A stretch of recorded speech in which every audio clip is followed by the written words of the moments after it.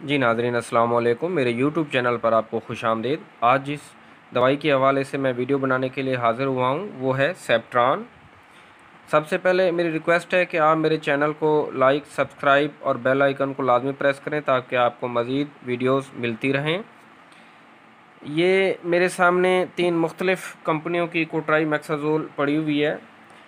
Septran, Tricare और बेटरा।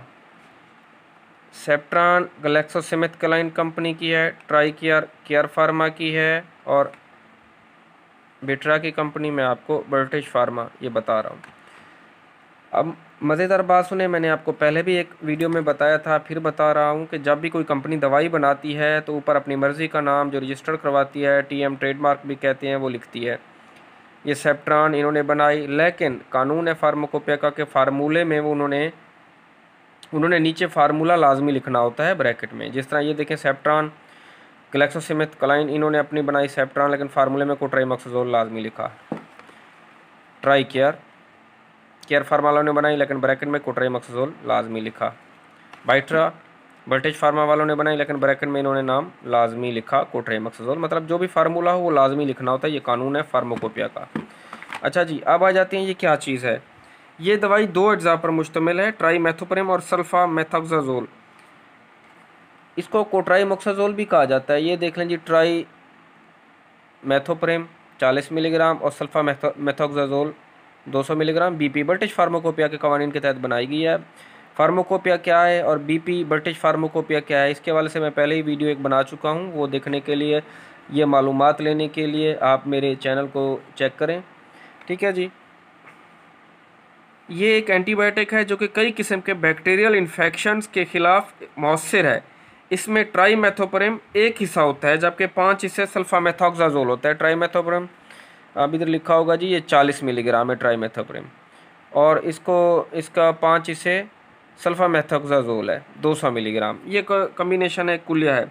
इसको ज़्यादातर किस सूरत में दिया जाता है? इसको कान की इन्फेक्शन पेशाब की, नाली की इन्फेक्शन सांस की नालियों में सोजिश सफ़र के दौरान या सफ़र करने के बाद होने वाले दस्त और नमूनिया वगैरह में इस्तेमाल किया जाता है। अच्छा जी, मज़ेदार बात सुने। इसके प्रिकॉशन में आप ये देखें कि जिगर के मरीज़ों में इसको इस्तेमाल नहीं किया जाना चाहिए।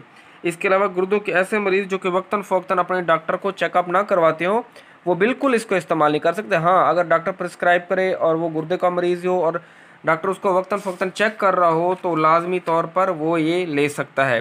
ऐसे मरीज़ जिनमें फोलिक एसिड की कमी, फोलिक एसिड की कमी हो और उस वजह से बाद एनीमिया हो जाता है, खून की कमी हो जाती है, वो भी कोटराई मक्सजोल इस्तेमाल नहीं कर सकते। हामला औरतें बच्चों को दूध पिलाने वाली माएँ कोटराई मक्सजोल बिल्कुल इस्तेमाल नहीं कर सकती।